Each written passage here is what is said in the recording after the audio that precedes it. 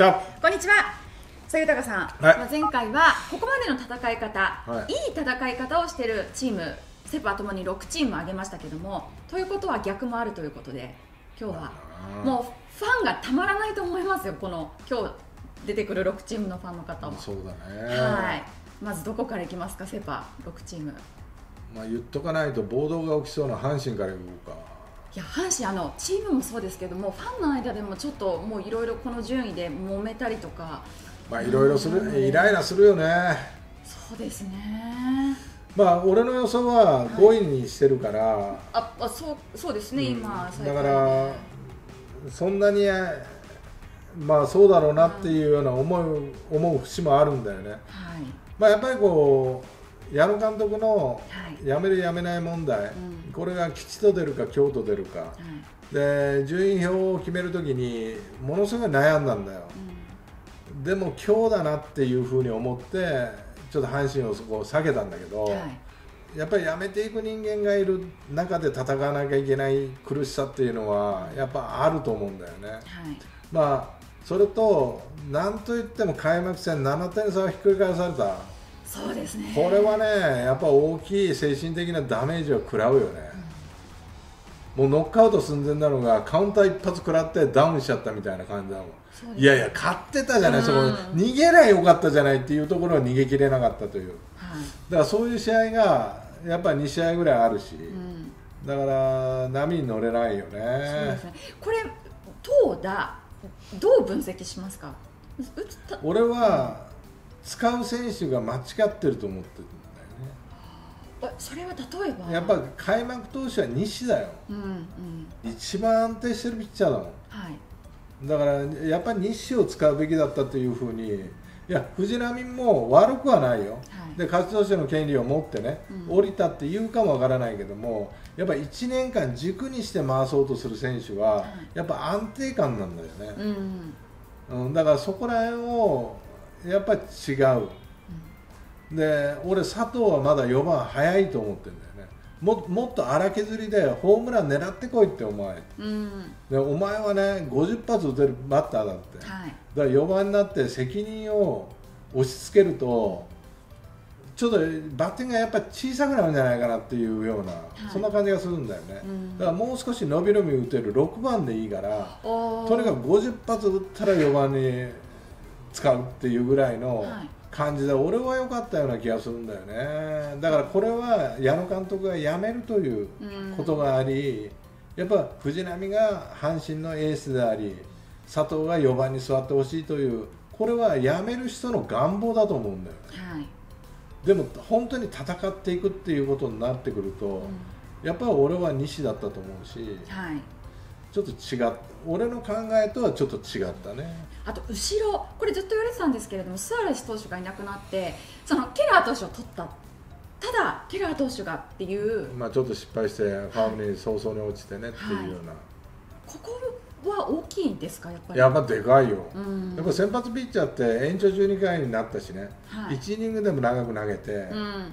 ね、バトンタッチしたいっていう思ってるけども、はい。やっぱスアレスがいると、ね、安心感があるよね。半端なかったですかうらねんだから、まあ、そういう意味ではその初戦に失敗した、えあれ大丈夫みたいな、はい。まあ、そういう不信感というか、不安が、あの蔓延したというかね、はい。で次の時にいや今日は大丈夫だとまた打たれたっていうようなことからすると、はい。やっぱ不安は拭いされないよね。だから後ろが決まらないと、はい投手陣全体のバランスが悪いというか。そうですよね、まあ、そういうところがあるよね、はい、だからやっぱりその後ろを早く誰か出てこないとっていう、まあ決めることも大切かもな、うん、そうですね、さあ阪神そしてまあ、ヤクルト、ヤクルト出だし良かったですけどね、うん。ただねやっぱサンタナが故障し、はい。故障っていうか、まあ、体の張りを訴え、まあ、外れるとか、まあ、長岡っていうのはすごく素晴らしい選手に育っていくと思うよ。はい、だけど、まあ、守備という意識がねうん。取っときゃゲッツーなのにってでもそれを取れなかったことから大量失点につながったりだとかさでも昨年はそれを耐えきれたんだよね投手陣が。うん。ちょっとしたエラーでも。はい。でもそれ耐えきれないぐらいにちょっと疲労感が清水に出てきてるよ最初は良かったけど。はい。だから打たれるケースもあるし中継ぎがちょっとい昨年とは違うなっていう、うん。それと受ける中村がいないという。まだ帰ってきてないですからそうだね。ただねヤクルトのキャッチャー松本とか、えー内山とか、はい。古賀とか、はい。キャッチャー王国だよ。これさ全員が使えるもん。すごいですすねごいよ。こんな球団ないよそうですうねん。だからまあでも一人にね絞りたいんだろうけどさなかなかもう素質が拮抗してるし、はい。実力あるしねなかなかそういうわけにいかないんだと思うけどだからまあそこら辺の迷いもねはい。含めて、ちょっと安定感に欠けるねヤクルトは今年。ですよね、うん。ただここからまた浮上上がっていくためにはヤクルトん何がキーになるまあ去年の打順が組めるかどうかだよね、はい。うん。そしたらもう打線はもう破壊力十分だよ、はい。あの去年の打順打線が組めればね、うん。で長岡が今6番に入ったりとかしてるけども、はい。長岡は8番に使えるぐらいの形になってくると、まあ、長岡も楽だろうし、はい。えー打線は爆発してくると思う。ん、う、うん。ね。ね。いや本当にヤクルトを言えば奥川がね、あそうですね。大丈夫早々にねですかちょっねといやまあちょっとわかんないんだけど。そこがやっぱりいなくなっちゃうと計算が。いや計算狂うよね。そうなんですよね。ものすごく狂う、うん。うん、だから先発ピッチャー小川もあんまり良くないしね、はい。うん、まあ石川はねあのゲームは作るけどねなかなかなかなねかそうなんですよね。勝てないしだから先発投手陣っていうのはちょっと苦しんでるよな。そうですね。なんか去年のようになかなかスムーズにはいかないっていうのはありますよね。でやっぱりスムーズにいってないといえばは DNA ね、い。まあもうなんか袋田だけに合ってるみたいだよな。なんかもう後から後からっていう感じに。外オースティンいない。最初そこから始まりましたからね。そしたらコロナが感染者が出た。はいまあそれじゃやっぱ戦えないよね。なかなか。あの去年のスタートダッシュと似たような形に、だからねこれはね責任はどこにもないと思うんだよ。うん。DNA って本当に話を聞くとはい。コロナ対策ってもう本当そこまでやんのっていうぐらい神経質にやってるから、はい。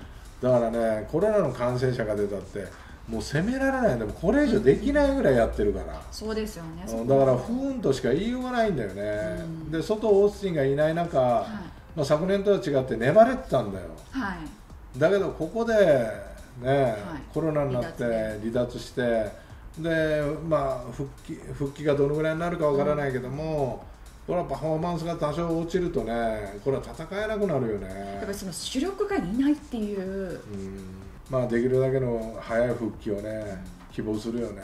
そうですね。うん。こればっかりは。こればっかりはな。ね。怪我はしょうがないし、ん。でも開幕前にオースティン外怪我うん。いうような情報が入った時に順位を変えるかって言ったら変えないって言ったんでね、はい。それはやっぱ長いスパンで見た時に、うん。d n a 今年は絶対戦えると思ってたけどさ、はい。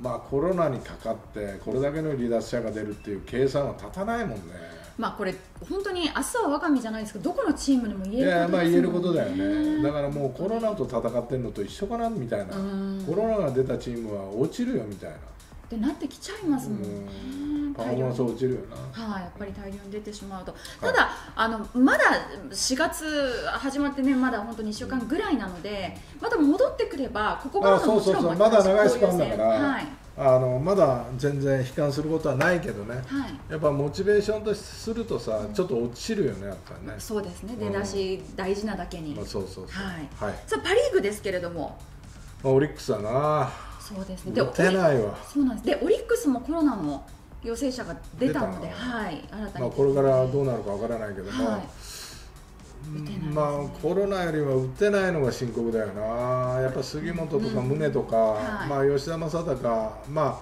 徐々に取り戻してくる、はい。まあ、吉田は全く心配ないんだけどさ、はい、でもしみんなと一緒にん。低迷しててほしくないんだよね、そうですね。一人でこう打っててほしいというかさ、うだけどみんなが上がってこないし吉田も上がりつつああるんだけどさ、んはい上がまあ、上がりきってないというね、で特に杉本と宗、まあ、ここら辺がやっぱり打ってくれないと、まあ、なかなか点にもならないしね、そうですね、去年あれだけ打って、やっぱりチームまあ、つながったという打線だからね、はい。で吉田正尚がいない時に杉本がね、あれだけ頑張ってっていうようなことを見てるから、はい、だから今年、非常に低調だしね、ね。